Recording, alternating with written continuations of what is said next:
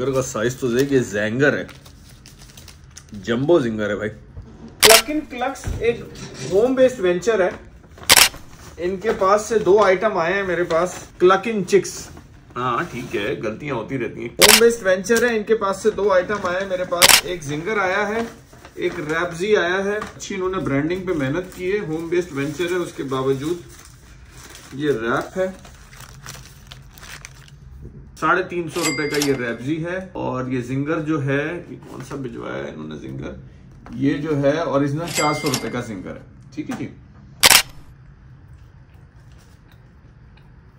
बहुत चिकन भरा हुआ है और मेयो की भरमार है। मेरे मतलब की चीज़ तो नहीं है। है अच्छा माल अच्छा भरा हुआ है। तो आ गया जिंगर। अच्छा। जिंगर का साइज़ तो देख, ये जैंगर है। जंबो जिंगर है भाई।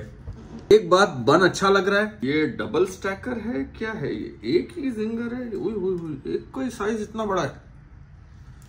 अच्छा। हम्म जिन लोगों को जिंगर अच्छा लगता है ना उनको ये बहुत अच्छा लगेगा। अच्छे तरीके से फ्राई हुआ हुआ पैटी है। लगी नहीं रहा होम से आया है। अच्छा वो भाई वो कह रहा है सिंगल पैटी है।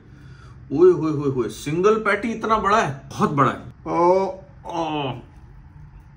इसका बाइट लेते हुए हमारे एक फेलो ब्लॉगर है अली सुमरो तो वो बाइट लेता है ना, ऐसा लगता है डायनासोर खा रहा है। तो अली भाई, मुझे इसका बाइट लेते हुए आप याद आ गए। Coming back to burger clean burger अच्छा बर्गर चीज़ अच्छी, ये मुझे समझ नहीं आया रैप जी। ये मुझे समझ आया, ये एक आदमी खाए उसका पेट भर जाए।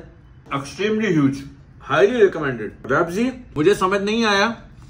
मैं भी अगर मैं अगली बार इसको मंगाऊँगा तो इसमें मेयो नहीं डलवाऊँगा। तो शायद अच्छा लगे। अभी नहीं समझ आया। तो क्लक इन क्लिक्स वालों का शुक्रिया। मैंने अभी तक इसके पैसे भी नहीं दिए हैं। ऑनलाइन करने हैं, वो करता हूँ। Thank you